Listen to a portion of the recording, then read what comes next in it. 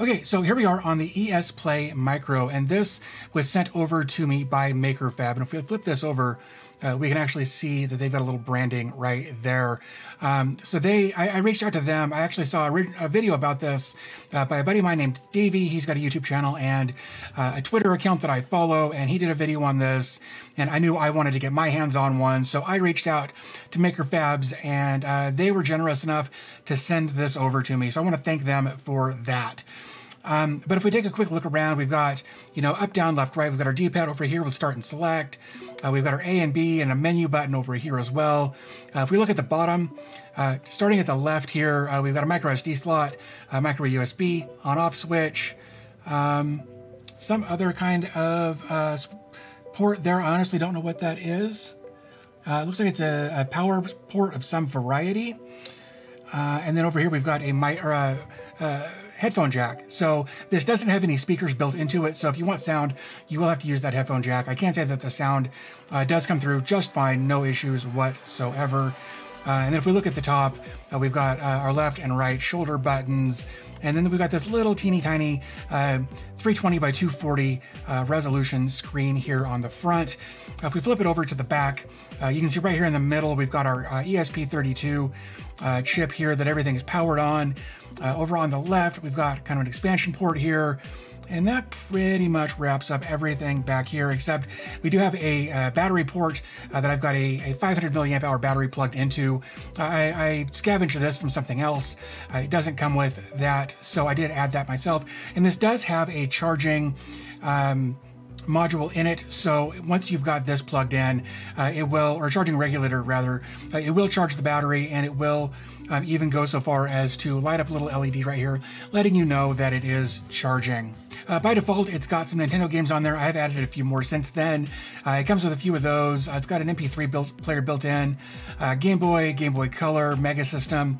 Um, while it technically supports Mega System, it's not great.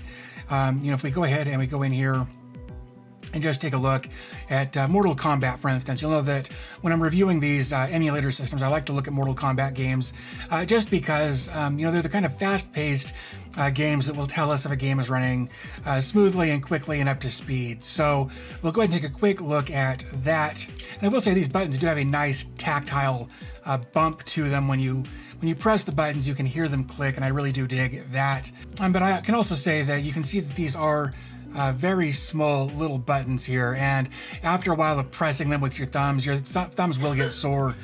Um, so I'm hoping to eventually get a 3D printed case to put on this. So while we're here, what I'll do is I'll go ahead and just select my character. Uh, we'll go ahead and use Scorpion on easy there.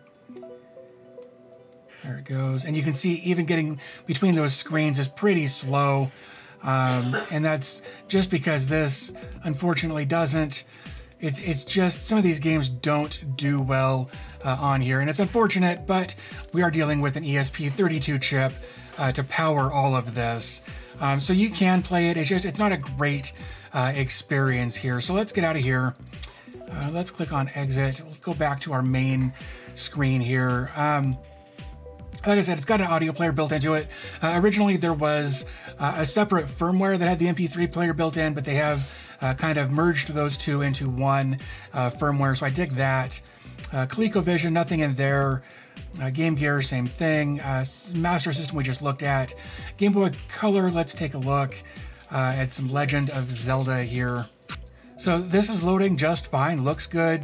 Uh, obviously, no no perceivable lag or anything uh, that I can tell. But again, uh, this was on a fairly low powered system by today's standards, so that uh, ESP32 chip shouldn't have any problem running this at all. Um, but I don't really want to deal with the story right now, so let's get out of here.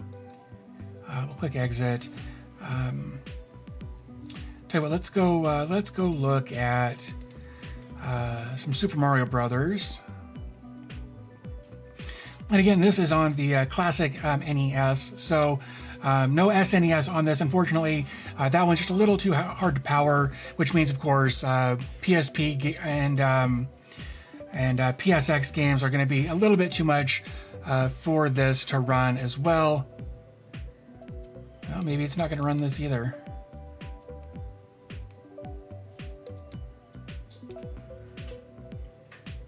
Tell you what, let's, uh, let's exit that. Let's try a bit of a different game here. I was playing this one earlier, so it should be just fine. Uh, it could just be a bad copy of my ROM that I've got for uh, Super Mario Brothers 3 there. But let's take a look at 2.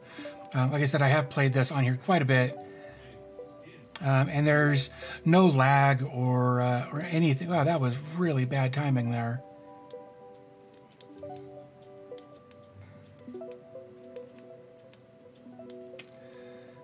But like you can see, this one runs just fine. So if you're a, if you're a big fan of the uh, original uh, Nintendo, the Nintendo Classic games, um, this is a great little handheld uh, to to take those games uh, with you while you're on the go. Oops.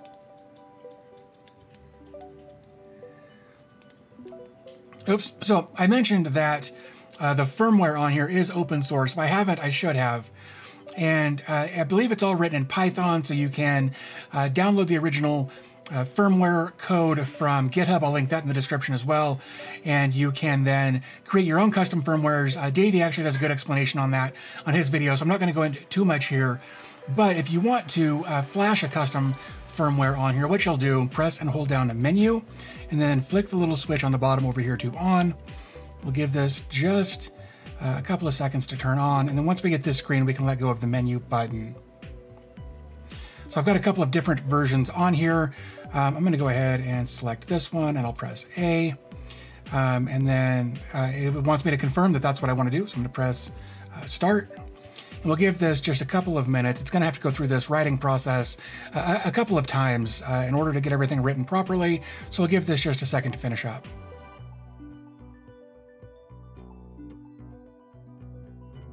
Okay, and there we go. We've got our new firmware flashed on there. It actually saved all of the games that were already on here. Uh, so that's really good stuff. Okay, guys, there is the ESPlay Micro. And again, I want to give a big shout out to MakerFabs for sending this over to me and let, letting me take a look at it and share it with you guys. Also, thanks to Davey for uh, posting his original video where I found this. Uh, I really do appreciate everybody that was involved in this. Uh, it's been kind of cool to check this out.